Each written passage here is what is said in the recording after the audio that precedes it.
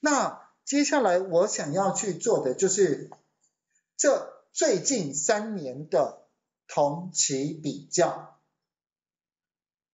因为因为通常我们会希望，呃，二零二零年跟二零一九年之间到底有什么变化的同期比较，所以我们来画这一张图。首先，首先。呃，我我个人的习惯是，我拿既有的图来去改就好了。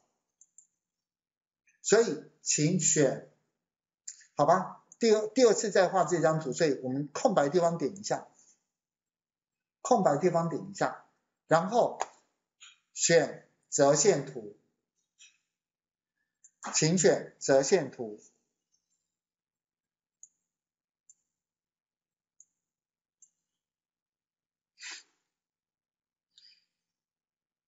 然后接下来在折线图里面，我们来去画那个那个就是横轴一定是进口日期二，所以先勾选进口日期二，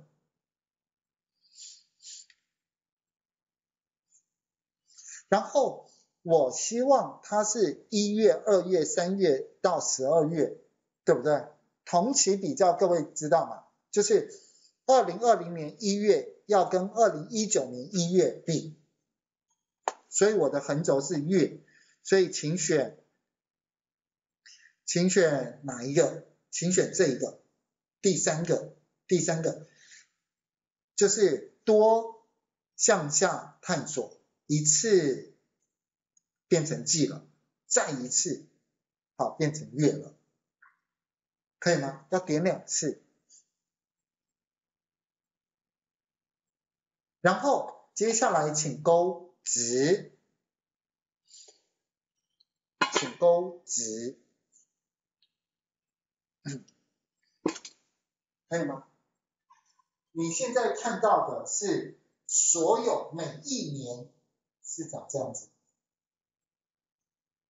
每一年涨这样子，可以吗？这这个点就是那么多年的一月全部加在一起，所以它才叫多向下探索。